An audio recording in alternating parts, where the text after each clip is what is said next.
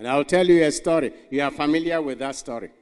Very, very familiar with it because I've told it before and you have read it in very forms. A group of friends went for a conference. Whoever had your meeting. And uh, after the meeting, they were rushing to catch their train. Train, ọ bụgodo ma train a ga-ekwegite je wugite n'ekebe anyị. Ọ bụgodoro ndị pu pu pu kwanchakọ kwanchom kwanchọkọ kwanchom ọ bụga enyom. Now some of these trains na-ada lent ha na ha ga-echite ma be ruo n'ugwu oyi ma ihe ọ agaghị ebe frum na ọgamara. And sometimes they, they leave only twice in a day. So these people were rushing to catch their train. And in their race with their ties and their briefcases, gada, gada, gada, gada, gada, gada, gada, they just came to the train station when the door was about to be closed and they jumped into the train. But in the process, there was a little child who had what he was selling near the train station. As they were rushing, one of them knocked down the tray of this child, and he love in that tray scattered everywhere, and some of them were marched upon as they were rushing for their train. Before they entered the train, one of them stopped and watched the door close.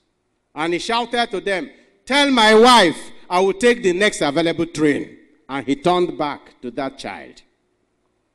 Because no matter what happened to the tray and he hove Nime, to know what happened to the content. And he saw all the apples she was selling, a little girl, all of that scattered on the ground and some of them destroyed. He bent down and picked them up and packed them well in the tray.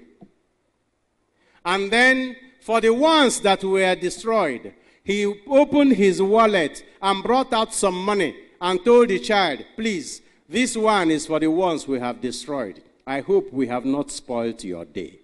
That was the only time he noticed that this child was blind. And because she was blind, she didn't see them coming, or she would have run away from them.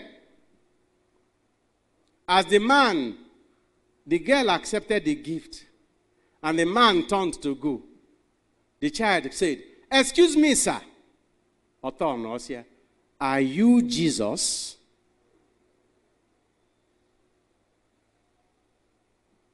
Because the child had heard the type of things Jesus could do.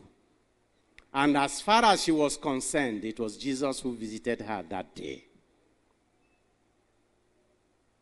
Well, you'll be a lucky Catholic today if you do something in your life today or in future that will make somebody say, Jesus has visited me today. And if the, a person would say, Are you Jesus? Well, Jesus is in you, He resides in you. And if you receive communion today, He will live in you and you in Him. You will be His hand, His legs, His mouth, His eyes. Whatever you tell your neighbor, that neighbor should experience it as Jesus intervening in his or her life. Love is the answer. Make love go viral. Whatever you do today, let somebody wonder are you Jesus?